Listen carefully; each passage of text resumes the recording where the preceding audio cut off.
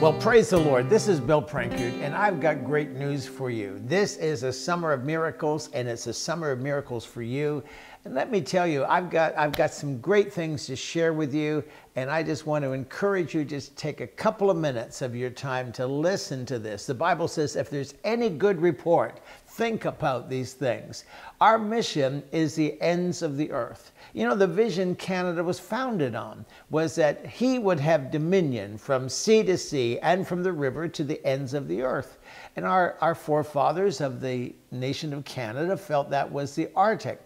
Well, we have the privilege of being the only ministry that's ministering right around the Arctic Circle, across the top of Russia, across the top of Canada, and seeing amazing things happen. And I want to read the scripture to you from Isaiah chapter 52, verse 10. The last part of it says, And all the ends of the earth shall see the salvation of our God. I have hung on to that scripture for many years now, ever since I started going north about 42 years ago. And let me tell you something. We are seeing miracles. This is the greatest month we've ever had. Our ministry has just stepped up what we're doing. I feel an urgency that there are people who still have not yet heard. There's a generation of young people that have had no hope, and they need to be injected with hope at the ends of the earth. And we have the privilege of doing this and seeing the results. So last April, Stephen Carlton and I and a team went up to Baffin Island, uh, Cape Dorset, and did the first Arctic Hope Project. And out of that has come a, a wonderful core of young men and women that are changing that community, gathering in the church several nights a week to, to pray, 30 to 40 of them, and just to believe God for their community and working with the elders to make positive changes. That's really happening right now. Many of these young people were suicidal. At the same time, across Hudson's Bay, uh, right on the Arctic Circle, in a wonderful community called Naujaat, which used to be Repulse Bay, we are building an Arctic Hope Center. And it is so exciting to see the progress of that. This month, Uh, the roof is on, the walls are going on, the, the inside is beginning to be finished, and next spring we're going to dedicate that.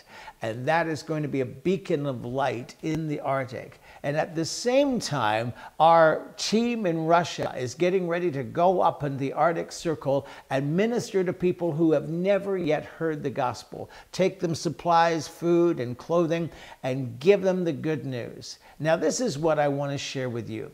In order to see the building completed, we have authorized Jeff Fransky, our, our man on the, on the job up there who's overseeing this and doing much of the work, uh, to hire several young men who can do the lifting and the carrying and things. And we're only giving them $10 an hour. But these are young Inuit men who want to learn construction. And so they're working uh, week after week with Jeff. That was unexpected.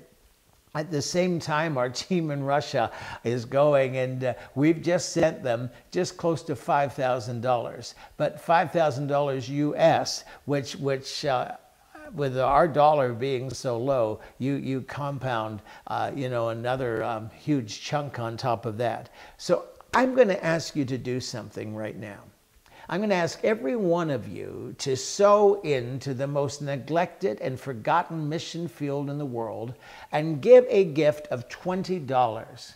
Now, I think you thought I was going to ask for more than that. I, if every one of you gave a gift of $20, all the needs would be met and we'd be able to do so much more in the north. I was just up there in July. Stephen was up in uh, Cape Dorset hearing great reports about what's happening up there. The testimonies are phenomenal. Communities are being changed. And for $20 donation, you can be part of that. And think about it. For a gift of $20, you, you, can, you can pay the salary of one of these young Inuit men for two hours.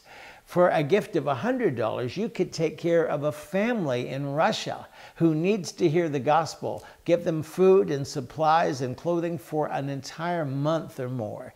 And so I'm asking you to go to the link right here on this, this uh, site and uh, click on and donate. Every one of us could do that. Uh, Gwen and I will do this. I'm asking you to do it. A gift of $20. You might want to do more, and that's great. But I'm believing God for hundreds of you to say, you know what? I can do this. And during a summer miracles, I want to sow. And as you sow a gift of $20, into this mission field. And you can let us know what you want it to go for, whether Arctic Russia, Arctic Canada, the building, the Arctic Hope Project with the young people, whatever it is. Stephen is going back up to um, uh, Naujaat in just a couple of weeks towards the end of August with a team from Peterborough, and they're going to be doing outreach in the entire community. All of this costs a great deal of money. This is a mission field. Would you help us right now? I believe the words from Isaiah are going to be fulfilled that all the ends of the earth shall see the salvation of the Lord. So, right now, would you give us a gift of $20? I promise you, every penny of it will go to reaching people at the ends of the earth. And I want to pray right now that in the name of Jesus, that as you sow, it, you shall reap. In Jesus' name, as you give, it shall be given back to you. I declare your summer of miracles and abundance. Thank you, Lord, that we can have a part and partner together in seeing the ends of the earth, see the salvation of the Lord, and seeing the north saved and the gatekeepers of our nation in the north rise up and into the authority that you have for them. I pray that in Jesus' name. Amen and amen.